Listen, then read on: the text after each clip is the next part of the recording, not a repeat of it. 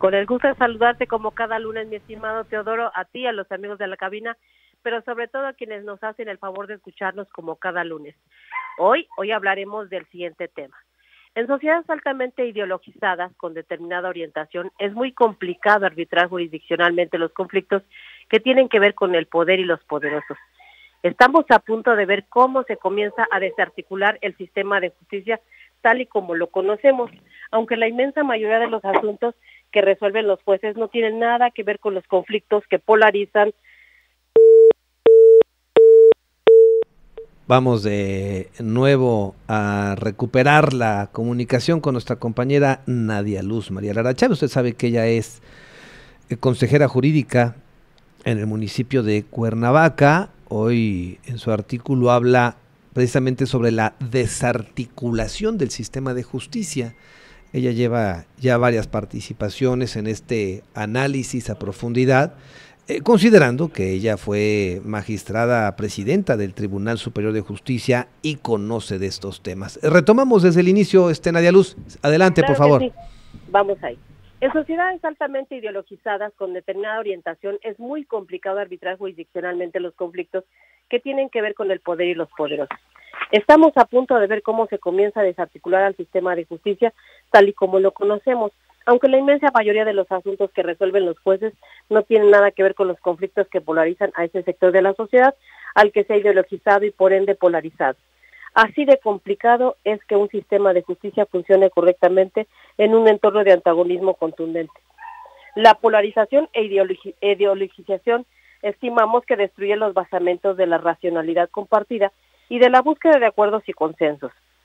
Y eso mismo es justamente el riesgo de elegir juzgadores a través del voto popular, porque entonces se habrá derribado la capacidad de los jueces y de los procesos judiciales para arbitrar los conflictos de manera pegada estrictamente a la ley, con transparencia, con alto sentido de responsabilidad y de análisis profundo y serio de los conflictos legales dentro del marco del respeto a los derechos humanos.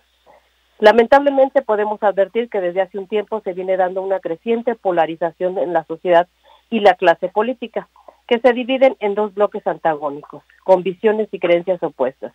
Es un fenómeno binario, se está de un lado o se está del otro, o peor aún, si estás, si, si no estás de un lado, estás en contra del otro. Las posiciones intermedias son muy difíciles de sostener en medio de la guerra.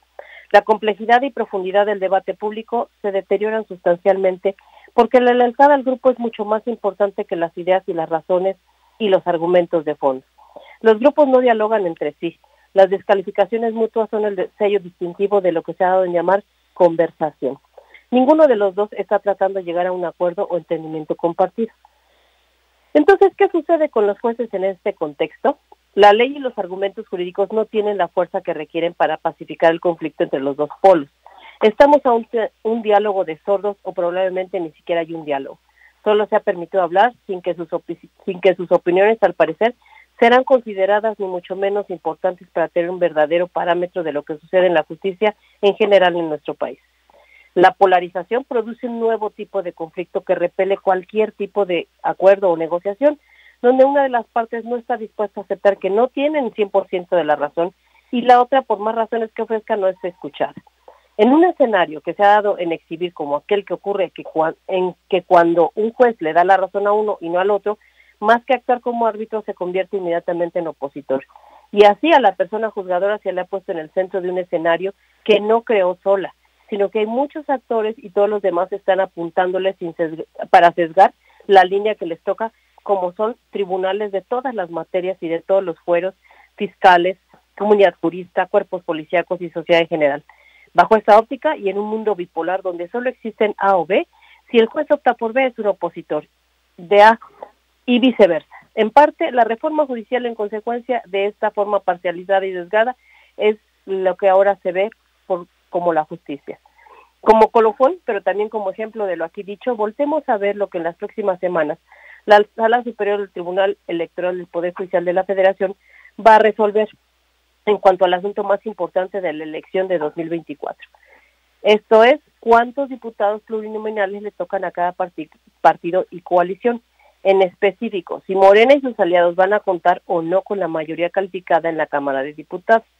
De la respuesta que den las y los magistrados a esta pregunta dependerá el tipo de país en el que vivamos las siguientes décadas. Así de trascendente la decisión de un tribunal y de ahí veremos la actitud que sobrevendrá en consecuencia de esa decisión. Hay dos posturas claramente que están permeando últimamente.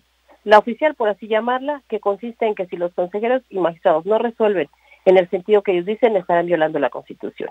En cambio, para la otra postura, es decir, quienes se oponen, es claro que la Constitución dice otra cosa y que de ninguna manera quien obtuvo el 54% de los votos para diputados se puede quedar con el 74% de la Cámara. Si las normas constitucionales se interpretan correctamente, se llegaría a otro resultado. Finalmente, lo único que podemos afirmar es que pareciera que la Constitución puede interpretarse en cualquiera de ambos sentidos y la Sala Superior debe decidir por uno de ellos. Sin embargo, la importancia de lo que hacen los tribunales radica en emitir la sentencia que sea pegada a la constitucionalidad y a la legalidad, porque la ley no se aplica al, al gusto ni al capricho de nadie. La polarización ha traído de nuevo un tipo de conflicto que no hemos entendido cabalmente y que, por tanto, tampoco tenemos los instrumentos adecuados para su gestión y pacificación. Así que la pregunta es, ¿qué hacer al respecto?